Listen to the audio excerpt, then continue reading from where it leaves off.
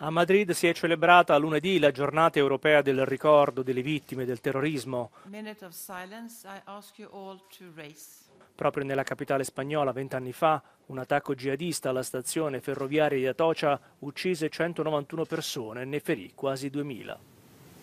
Today let's remember with words. And tomorrow let's remember by taking action.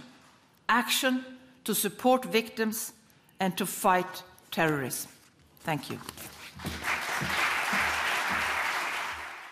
Le bombe di Atocha furono il primo degli attentati in Europa dell'epoca post 11 settembre e l'occasione per istituire la giornata europea del ricordo.